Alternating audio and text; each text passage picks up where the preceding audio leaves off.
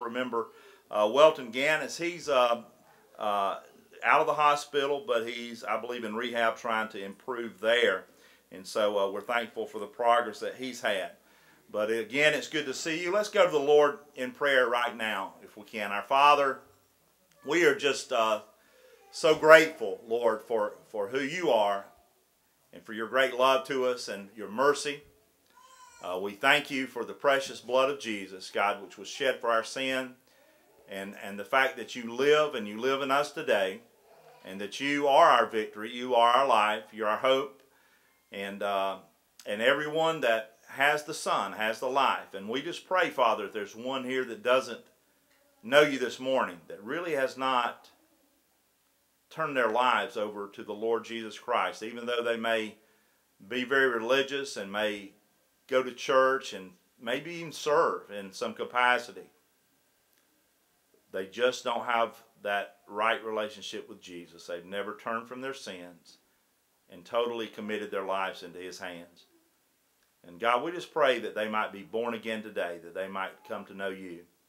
And Father, we pray, Lord, that you'd have your will and way in everything that's done. We pray for our nation.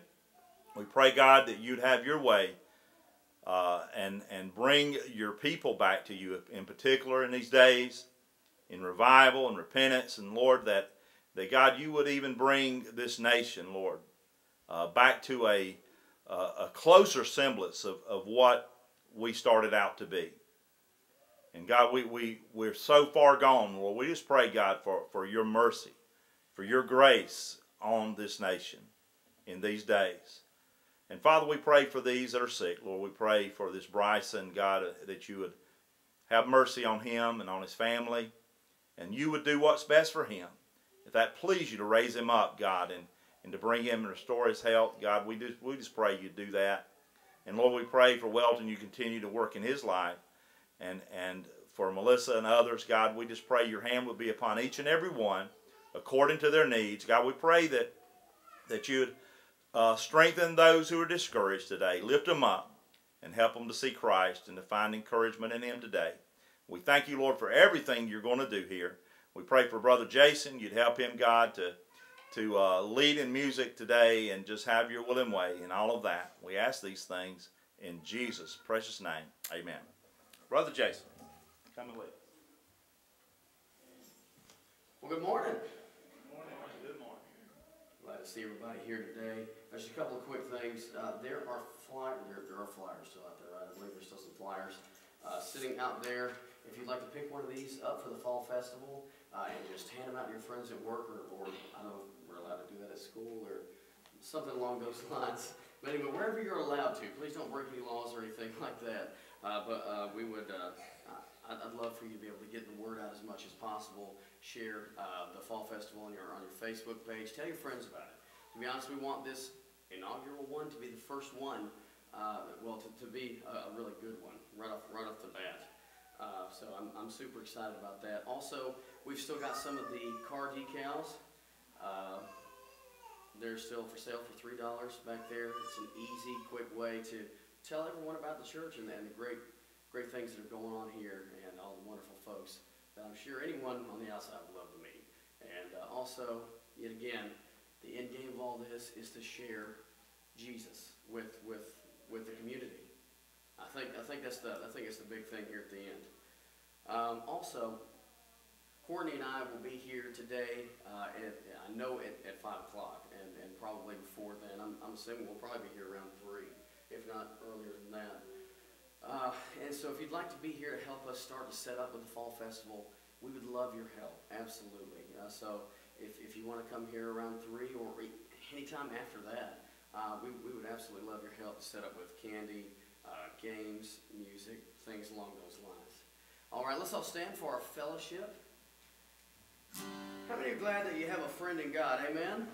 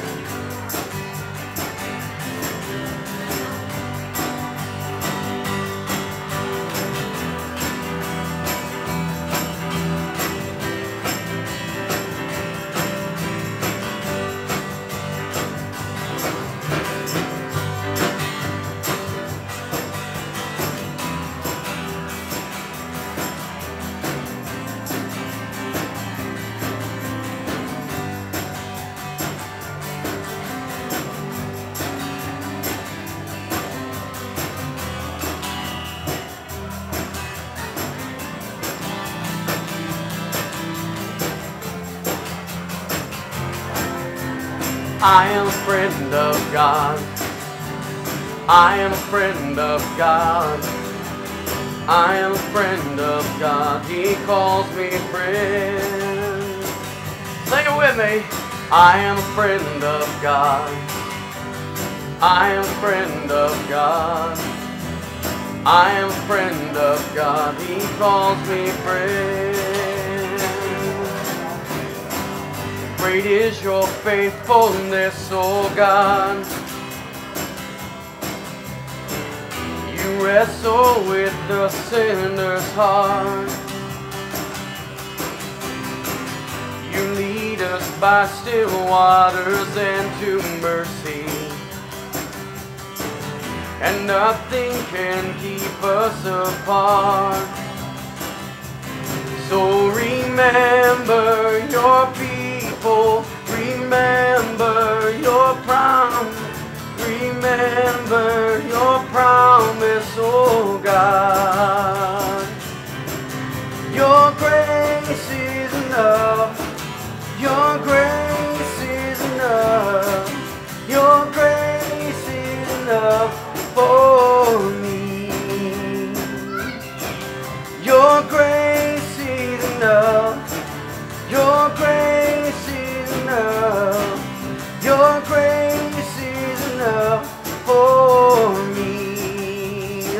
Second verse. Great is your love and justice, God. You use the weak to lead the strong. You lead us in the song of your salvation. And all your people sing along. So remember your people, remember your children, remember your promise, oh God. Your grace is enough. Your grace is enough. Your grace is enough for me. Your grace. Your grace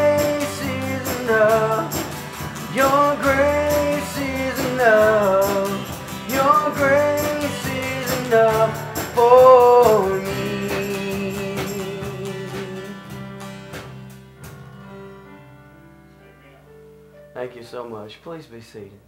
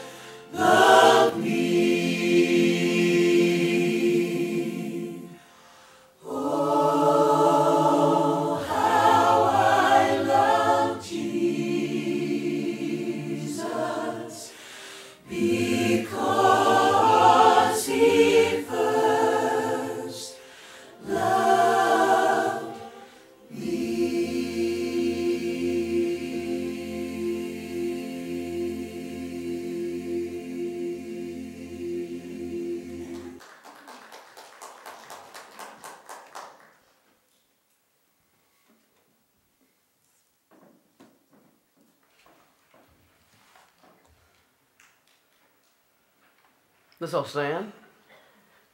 Sing a hymn I think a lot of folks know. What a friend we have in Jesus.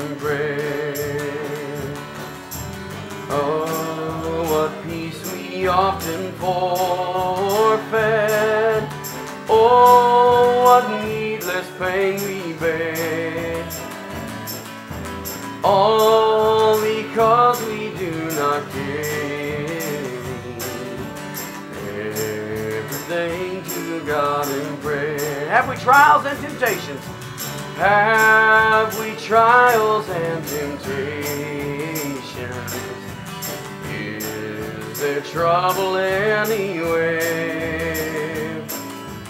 We should never be discouraged. Take it to the Lord in prayer. Can we find a friend so faithful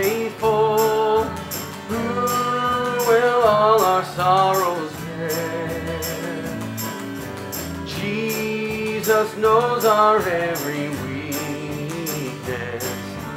Take it to the Lord in prayer. Let's sing that last. Are we weak and heavy laden?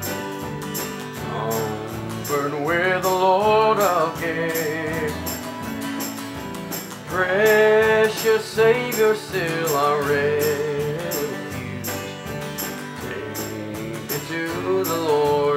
Prayer. Do thy friends despise, forsake thee? Take it to the Lord in prayer. In his arms he'll take and shield thee.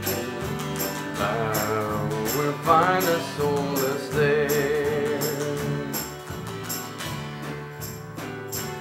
Lord, prepare me to be a sanctuary,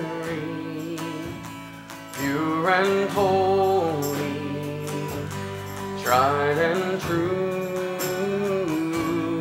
with thanksgiving. I'll be a living sanctuary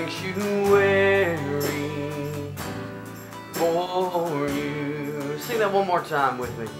Lord, prepare to be a sanctuary, pure and holy, tried and true with thanksgiving. I'll be a living sanctuary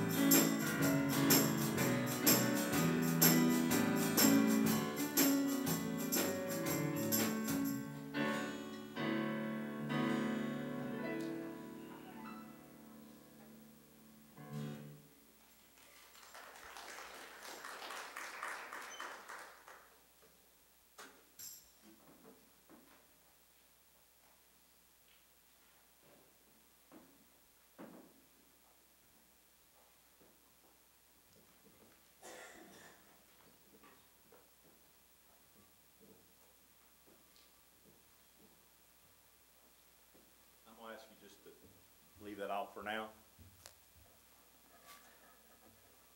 I'm gonna ask the, the deacons if they'll come forward. I'm going to share some scriptures and we'll do something a little bit different today than, than normal and, um,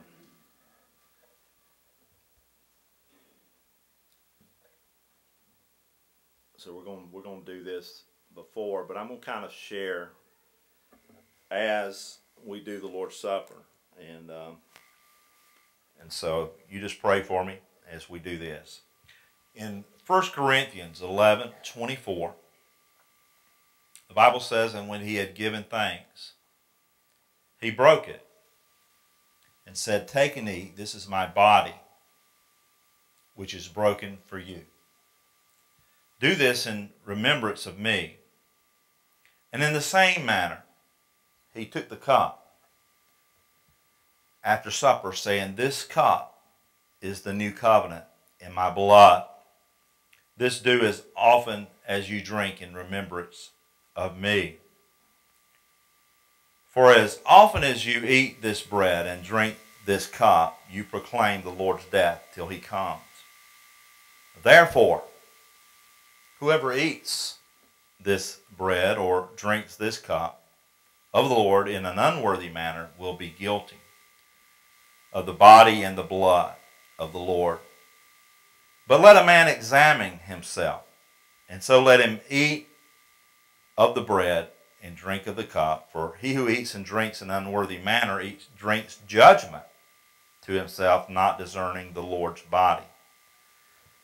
And so, as we come to this Lord's table this morning, I want to, to encourage you to um, examine yourself. And, and, and really, in, in, in the Baptist church, there's only one real major requirement that, that uh, to partake of the Lord's Supper and that is for you to belong to the body of Christ. That's to, to be born again, blood bought, and, and, and of course that follows that you're baptized and, and a part of the body of Christ.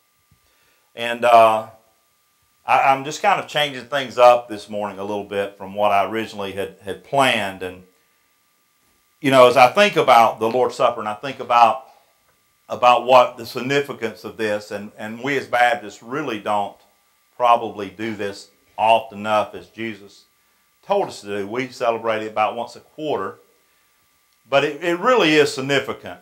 And uh, when we think about it, we, we, we know that the elements are, are just that. They're symbols of the body and the blood of Christ. Not, they're not changed by any magical power like some some may believe.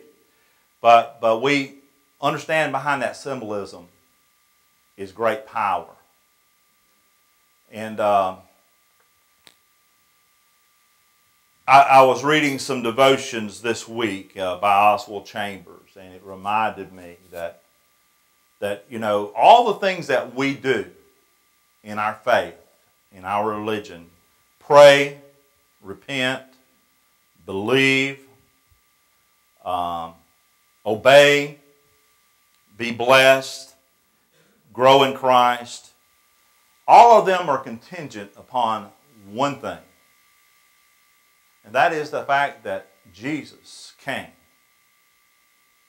and Jesus died and Jesus rose again that we might enjoy everlasting life, that we may know God and have the forgiveness of sin and be able to pray to God and, and receive answers and be able to share Jesus with our family and know that they too can be saved. Everything contingent upon what Jesus did on that cross when Jesus died for our sins. And so as I share my story with you once again, for some of you who have not heard it, I want you to think about th- that's that's the point of this. And and as a young man, when I was just uh, six years old, or five years old, I guess, I remember going to church one Sunday morning, and I remember the preacher preaching, and I always remembered, and it seemed that morning he preached on hell. I cannot tell you for certain that he did. But I do know this that as I sat back there in that pew, I knew that I was a sinner and that I was lost.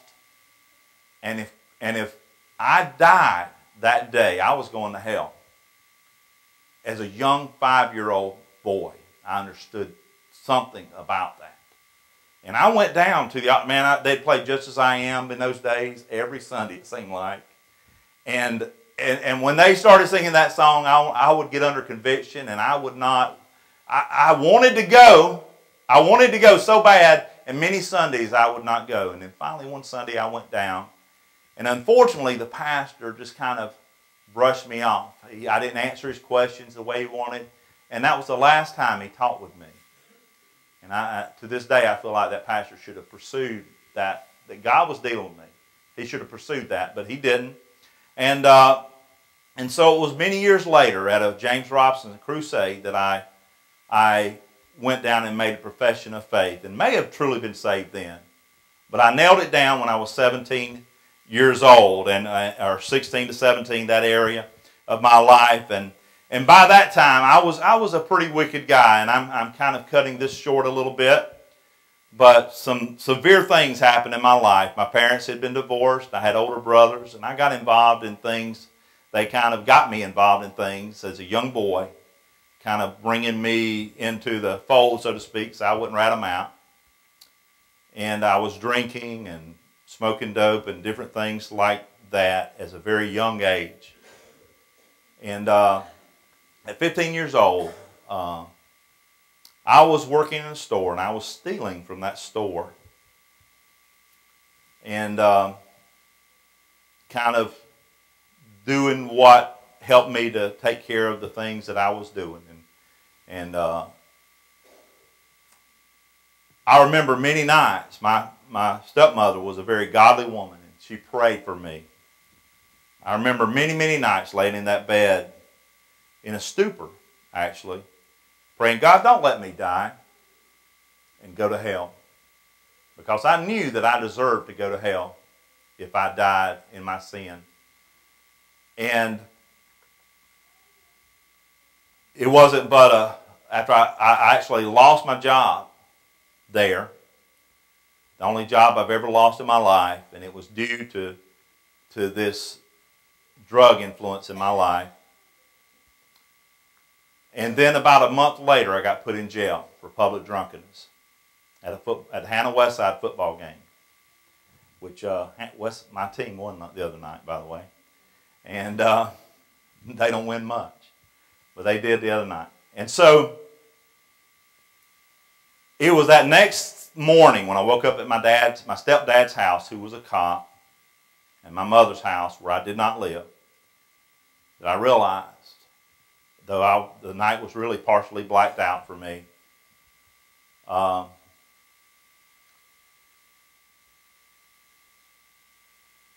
you need God to do something in your life, or, or you're, you're, you're, you're heading truly down that road of destruction. Look what you are. God was dealing with me.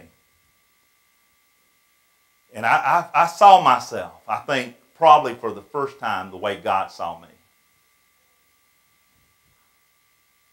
And, uh, and I went to church that Sunday morning for the first time in many, many years.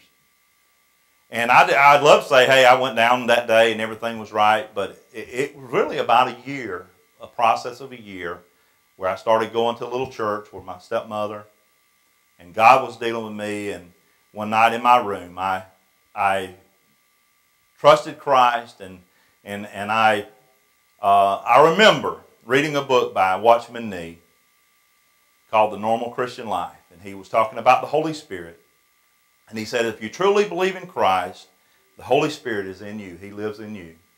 And he says you don't need to ask for him, you don't need to beg for him to he says, You just need to thank God that, that He's in you.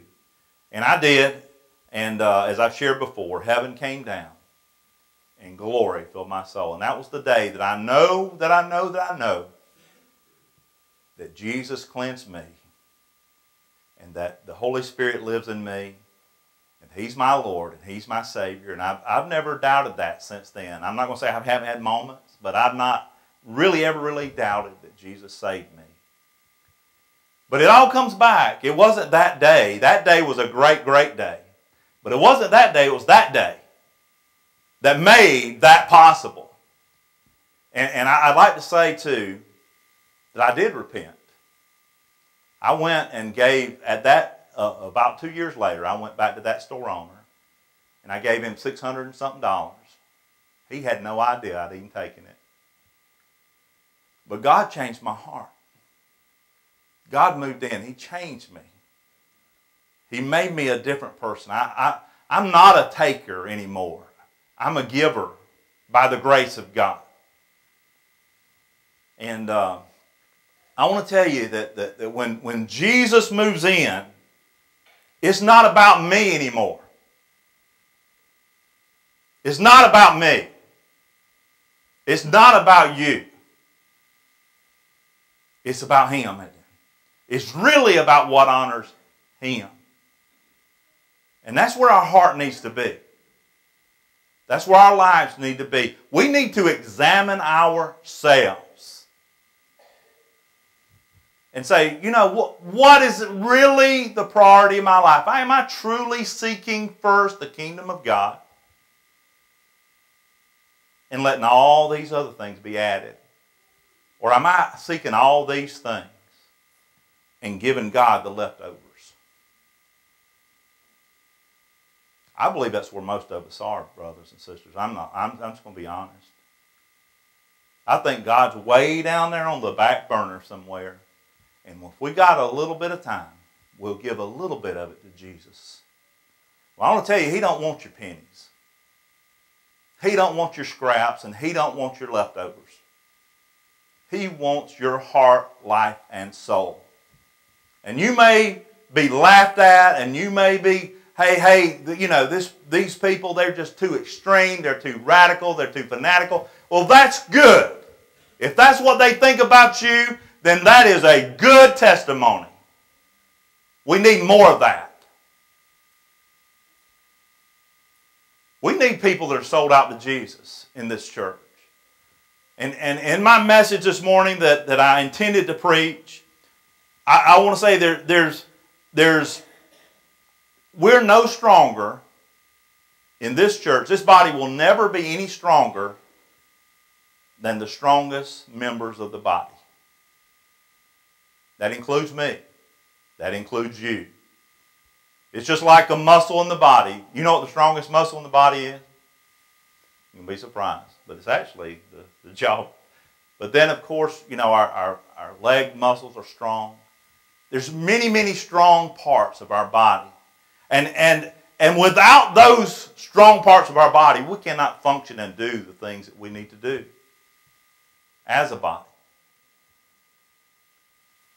And so I just want to ask you, what is your commitment to Jesus? I believe your commitment to Jesus is reflected in your commitment to his house and to his body. I do believe that. I think there's a great separation today in people's minds. But I believe when you look in the Word of God, it says that they were together, breaking bread, prayers. They worked together, breaking bread and prayers and sharing the gospel. They were together.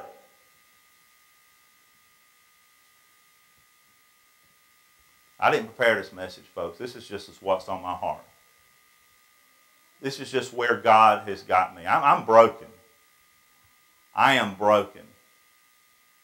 I'm broken for our nation. I'm broken for Mount Tabor. I'm broken for myself. And I'm broken for the lack of interest in the things of God in the society and even in the body of Christ today. I'm just broken. I, I, I've called out to God. I've begged God, and I don't know what else to do. i all I say is, please pray for me. You don't know how many times I quit this job.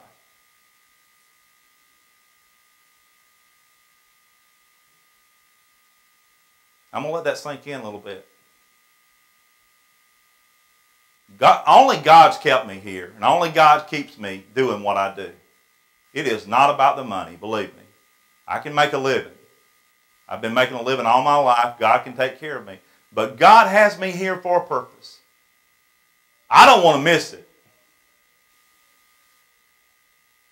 But I don't want you to miss it either.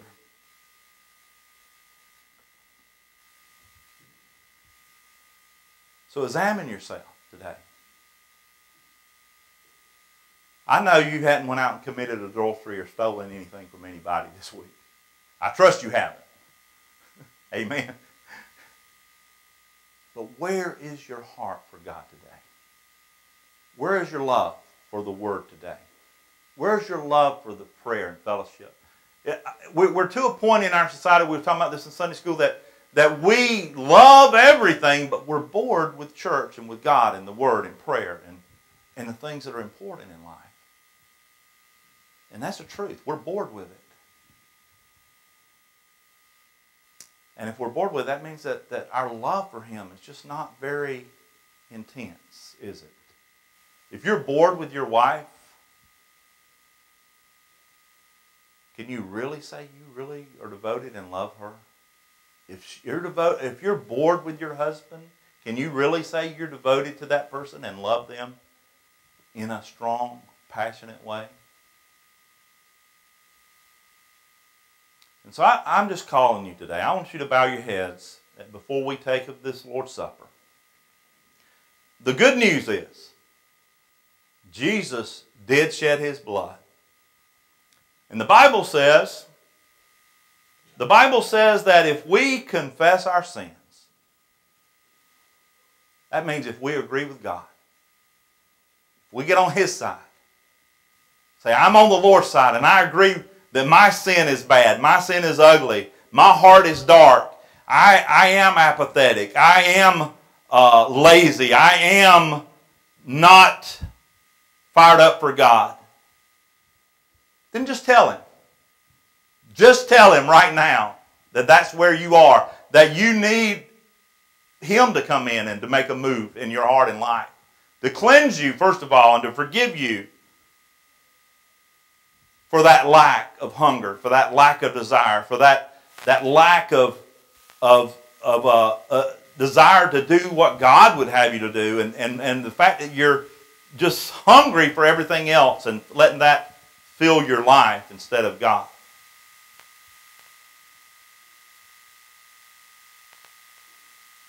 Just talk to God right now in your seat. Just be honest with God. The Bible says that He's looking for a person whose spirit there is no guile, there is no deceit. That you are able to be transparent and open. He knows about it anyway. So don't sit there and try to defend yourself before God and say, Well, God, I'm the best person in here. If everybody could be like me, because you'll be like that Pharisee who walks away unforgiven But I want to tell you, He will cleanse you. The precious blood of Jesus will cleanse you from every sin. So this is your moment. This is your time. To turn everything over to God. Don't make a big commitment. I'm going to do better, Jesus, and all this stuff because you're going. You're just lying. What you need to do is turn to say, Lord, I, I'm turning it all over to you. And I'm just asking you to take over and allow me and enable me to, to go forward and to do what I know that I ought to do.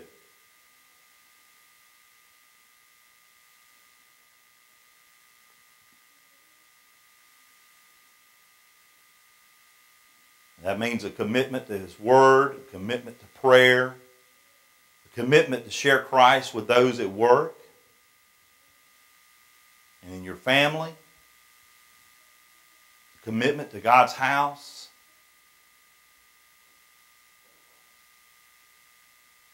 Make that commitment today.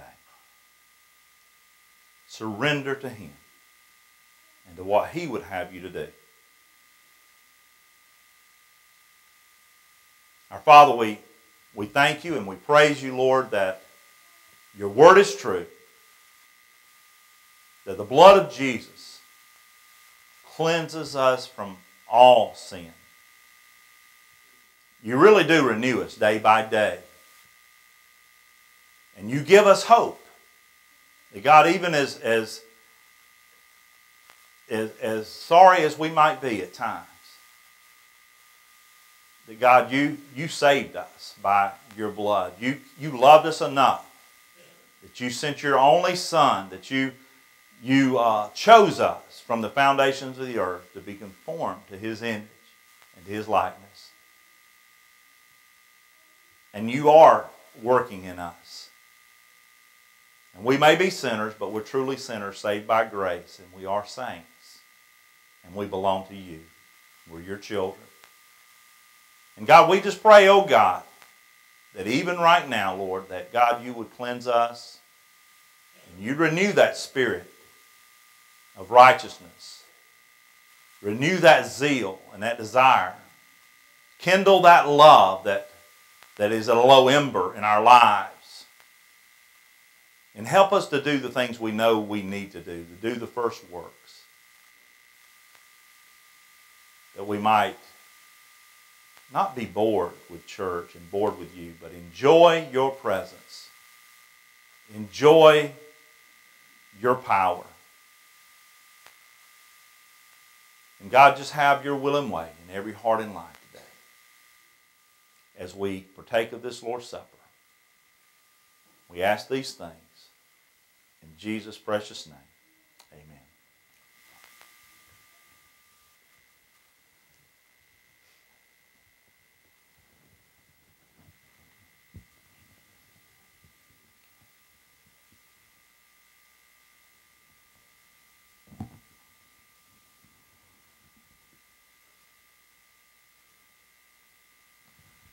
Brother Jason, could you play something softly on the guitar?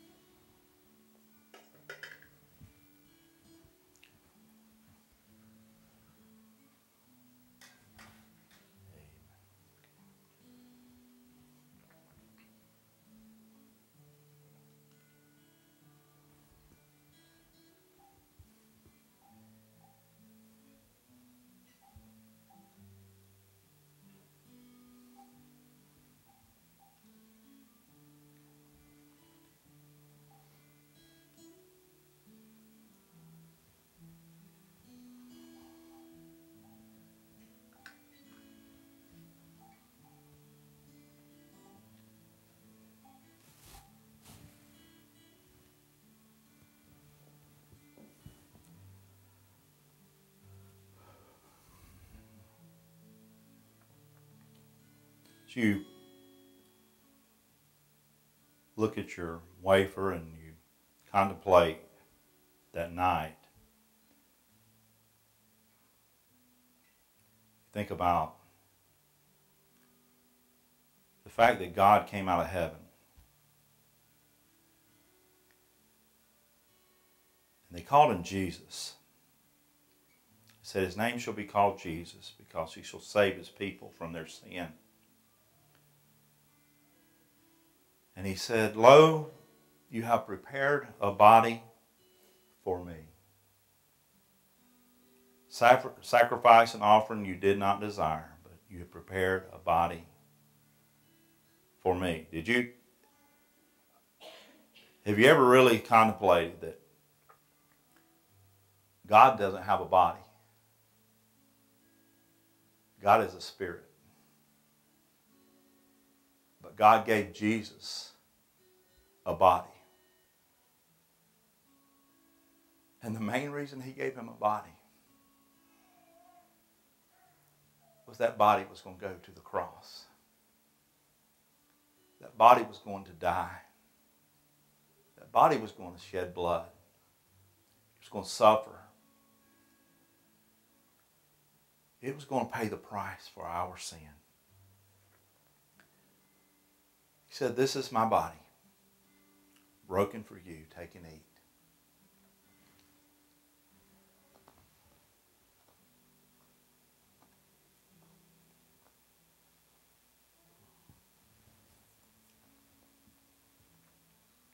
I'm ask Brother Billy if you'll pray for us before we take partake of the, the juice. Dear Lord, I just want to thank you for this time that, that we have, that we can just come and just humble ourselves before you, for you sending your son, just like Troy said, to take on a body, Lord, to, to, die for us and to just us to realize how unworthy we are, Lord. But it's just because of your graciousness and your love and, and your hope for us, Lord, that of why you want us to have a life is why you sent your son. And just thank you for that, Lord, and just thank you for that hope that you give us. And in Jesus' name, amen. Amen.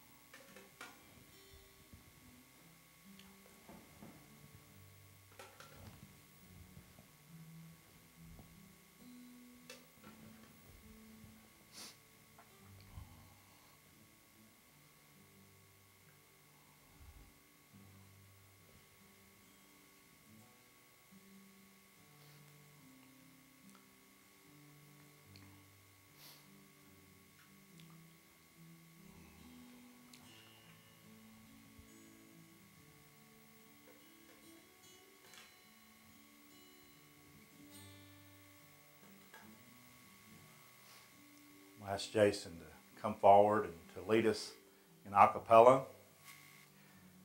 The chorus, Nothing But the Blood.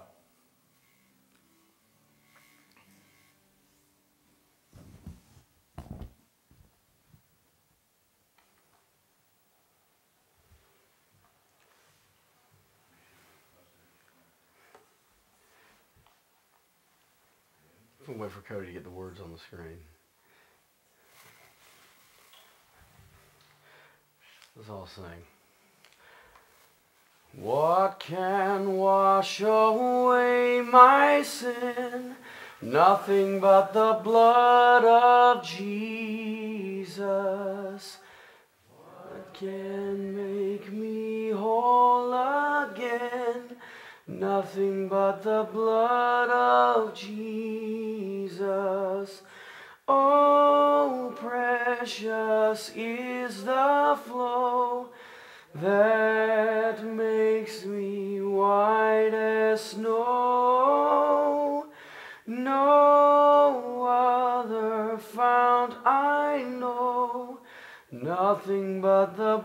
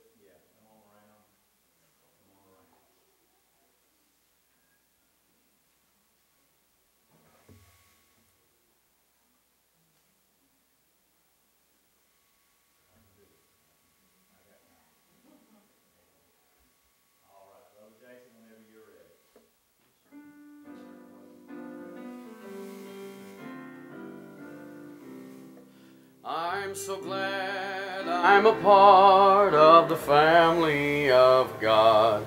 I've been washed in the fountain and cleansed by his blood. Joined heirs with Jesus as we travel this sod. For I'm part of the family, the family of God.